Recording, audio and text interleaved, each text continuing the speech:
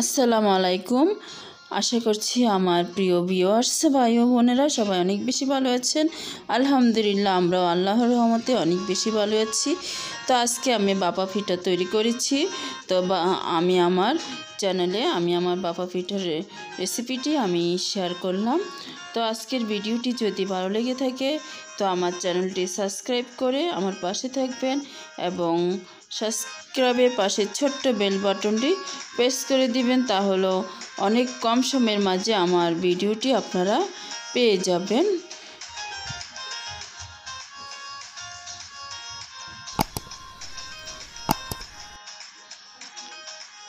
এই তো আমি বাবা পিঠা তৈরি করার জন্য যা যা লাগছে, আমি সব কিছুই রেডি করে নিয়েছি। আমি নিয়েছি নারকেল কোড়া, নিয়েছি শুকনো চাউলের গুঁড়া, একদম শুকনো চাউলের গুঁড়া রোদে শুকানো শুকনো চাউলের গুঁড়া, আর নিয়েছি পাটালি গুড় পাটালি গুড় নিয়েছি, এই বাপা পিঠাটা তৈরি করতে কিন্তু বেজা চাউলের গুঁড়ো দিয়ে হবে না, একদম শুকনা চাউলের গুঁড়া লাগবে।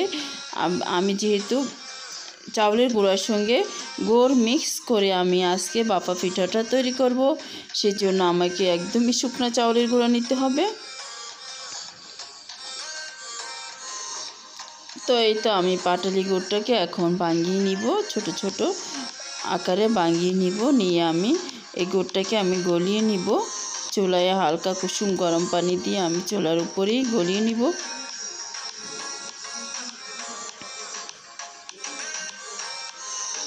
এই তো চাউলের গুঁড়াটা সরি হচ্ছে পাটালি গুড়টা গলানো হয়ে গেছে। তো আমি এখন পিঠা তৈরি করার পর্যায়ে গুড়টা হয়ে গেছে। তো আমি এখন পিঠাটা কীভাবে তৈরি করব সেই ব্যাটারটা আমি করে নিচ্ছি। তো আমার যে পরিমাণ পিঠা তৈরি করব ঠিক সেই পরিমাণ আমি চাউলের গুঁড়ো নিয়ে নিচ্ছি। সেই পরিমাণ আমি চাউলের গুঁড়ো, একে একে চাউলের গুঁড়ো আমি নিয়ে নিচ্ছি। তো চাউলের গুঁড়ো নিয়ে আমি এর সঙ্গে লবণ অ্যাড করে দিব। লবণ ভালোভাবে আমি মিক্স করে দিব। তো আমার চাউলের গুঁড়োটা একে একে নেওয়া হচ্ছে। চাউলের গুঁড়োটা নেওয়া হয়ে গেছে। তো আমি এখন দিয়ে দিচ্ছি লবণ, আন্দাজ মতো কিংবা স্বাদ মতো লবণ। যে যেরকম লবণ খেতে পছন্দ করেন, তো সেরকম লবণ দিতে হবে। তো আমি আবার হচ্ছে মিষ্টি জিনিসে বেশি একটু লবণ খাই না। তো আমি অল্প একটু লবণ দিয়ে দিলাম।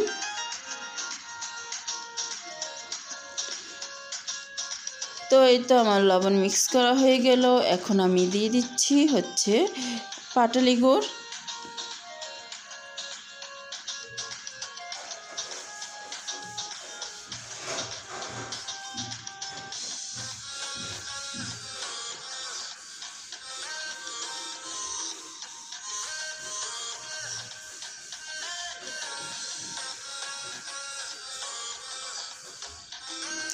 এখন আমি দিয়ে ভালোভাবে মিক্স করে নিচ্ছি।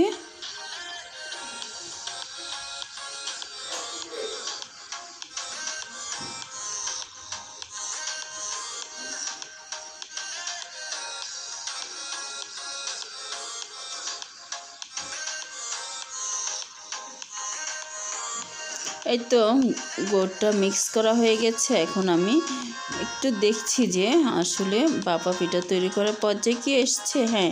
এখন আমি দেখলাম যে না, বাপা পিঠা তৈরি করার পর্যায়ে আমার ব্যাটারটা হয়ে গেছে, তা আমি এখন একটা স্টিনারের চালনি দিয়ে আমি ছেলে নিচ্ছি।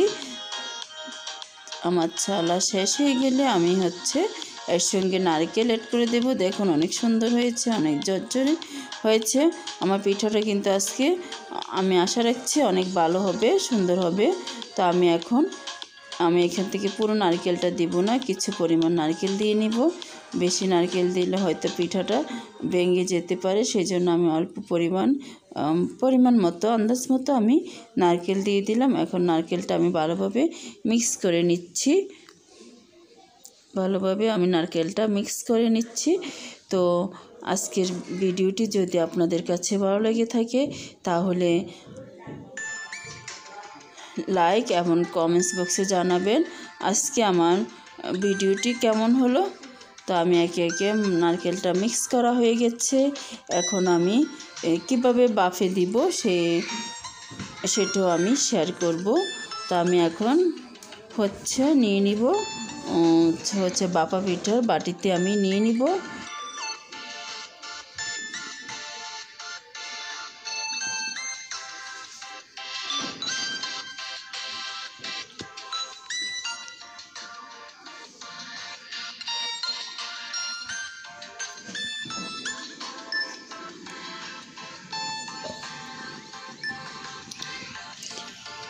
তো এই তো দেখতে পাচ্ছেন, আমি প্রথমে নারকেল দিয়ে নিয়েছি, যেহেতু উপর, উপরের অংশটাতে নারকেল দেখা যায়, দেখতেও সুন্দর লাগবে, খেতেও অনেক ভালো লাগবে।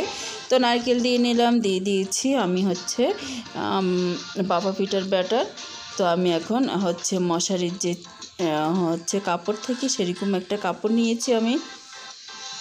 আমি কাপড়টাকে আগে ভিজিয়ে নিয়েছি, ভিজিয়ে নিতে হয় কাপড়, তাহলে পিঠাটা, ব্যাটারটা সুন্দরভাবে সে হয়ে যায়। তো এই তো নিয়ে নিলাম। এভাবে হাতের সাহায্যে মুড়িয়ে নিচ্ছি। আমি আজকে এই বাপা পিঠাটা তৈরি করব প্রেশার কুকে। প্রেশার কুকে তৈরি করে নিব একদম অনেক কম সময়ের মাঝে প্রেশার কুকে। পাপা পিঠা তৈরি করে না যে আপনারা তৈরি করে দেখতে পারবেন। এভাবে কিন্তু একদম অনেক তাড়াতাড়ি দুই মিনিটে একটা পিঠা তৈরি হয়ে যায়। তো আমি আরও দুইটা বাটি রেডি করে নিয়েছি। আরও দুইটা বাটি আমি রেডি করে নিয়েছি যেন আমি পিঠাগুলো অনেক তাড়াতাড়ি সেরে নিতে পারব। তো এই তো দেখুন অনেক ভাপ চলে এসছে। তো আমি এখন যে মুড়িয়ে রাখা বাটিটা এখন আমি দিয়ে দিচ্ছি। এই তো তো এক মিনিট রেখে আমি বাটিটা সরিয়ে ফেলব। তো বাটিটা সরিয়ে ফেলব, হয়ে গেল আমার এক মিনিট। তো এখন আমি আলতোভাবে এই তো বাটিটা সরিয়ে নিলাম। এখন আমি কাপড়টা দিয়ে আবারও মুড়িয়ে নিব। আপনারা চাইলে মার্কিন কাপড়ও নিতে পারেন, যার যেরকম পছন্দ, তো আমার কাছে এটা পছন্দ। এই মশারির জালিওয়ালা কাপড়টাই আমার পছন্দ, তাই আমি এটা দিয়ে সবসময় তৈরি করি। তো এই তো দেখতেই পাচ্ছেন, আমি তুলে নিচ্ছি। একদম অনেক কম সময়ের মাঝে হয়ে গেল আমার বাপা পিঠা। তো একে একে আমি সবগুলো বাপা পিঠা তৈরি করে নিব। এই তো দেখুন, অনেক সুন্দর হয়েছে, একদম ফাটেনি। পারফেক্টভাবে আমার বাপা পিঠা তৈরি হয়ে গেল। নারকেলটাও সুন্দরভাবে বসে গেছে সে হয়ে গেছে। এই তো।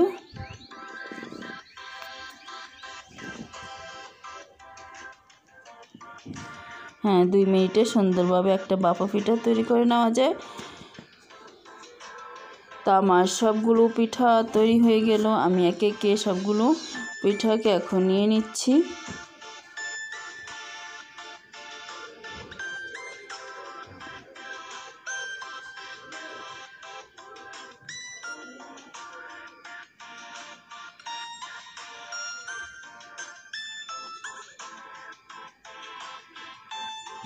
তো এই তো আজকের ভিডিওটি যদি ভালো লেগে থাকে, আমার বাপা পিঠার ভিডিওটি যদি ভালো লেগে থাকে, তাহলে আমার চ্যানেল লাইকস দিবেন এবং কমেন্টস বক্সে জানাবেন আজকে আমার ভিডিওটি কেমন হলো। তো শেয়ার করতে একদম ভুলবেন না। তো আজকের মতো আমি আমি বিদায় নিচ্ছি। সবাই ভালো থাকবেন, সুস্থ থাকবেন। আল্লাহ হাফিজ।